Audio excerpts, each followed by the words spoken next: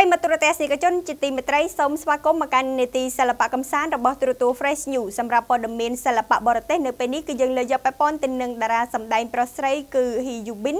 និង Son Ji Jin ត្រូវបានអ្នកគាំទ្របង្ហើបថាអ្នកទាំងពីរមានទំនាក់ទំនងស្នេហាជាមួយគ្នាហើយនៅពេលនេះតារាសម្ដែងប្រុសស្រីក៏បានចេញមុខបដិសេធចំពោះដំណឹងនេះផងដែរថ្មីថ្មីនេះភ្នាក់ងាររបស់តារាសម្ដែង Hee Yu Bin និង Son Ji Jin ដៃគូសម្ដែងនៅក្នុងខ្សែភាពយន្តថ្មីរបស់តារាចម្រៀងប្រុសស្រីរឿងនេះបានបដិសេធពាក្យចចាមអារ៉ាមដែលថាអ្នកទាំងពីរកំពុងមានទំនាក់ទំនងស្នេហា បន្ទាប់ពីបែកធ្លាយនៅរូបភាពតាមរយៈបណ្ដាញសង្គមដែលពួកគេត្រូវបានមហាជនប្រទះឃើញកំពុងដើរផ្សារជាមួយគ្នាភ្នាក់ងាររបស់តារាប្រុសស្រីទាំងពីរបាននិយាយថាពួកគេបានជួបគ្នានៅសហរដ្ឋអាមេរិកហើយក៏បានជួបជុំជាមួយនឹងមិត្តភ័ក្តិជាច្រើនមិនមែនតែណាត់ជួបគ្នាតែពីរនាក់នោះឡើយ VAST Entertainment ភ្នាក់ងាររបស់ Hee Yu Bin បានឲ្យដឹងថាពួកគេមើលទៅស្និទ្ធស្នាលនឹងគ្នាប៉ុន្តែអ្នកទាំងពីរទើបតែជួបគ្នាប៉ុណ្ណោះចំណែកឯ MS Team Entertainment ភ្នាក់ងាររបស់ Son Ji Jin ក៏បានចេញសេចក្តីថ្លែងការណ៍ស្រដៀងគ្នានេះដែរថាអ្នកទាំងពីរដើរលេងជាមួយនឹងមិត្តភ័ក្តិមួយក្រុមដូចទៅនឹងអ្វីដែលពួកគេបានឃើញនៅឯហាងលក់គ្រឿងទេសមួយកន្លែងប៉ុន្តែអ្នកទាំងពីរមិនមែនដើរទៅណាមកណាតែពីរនាក់នោះទេ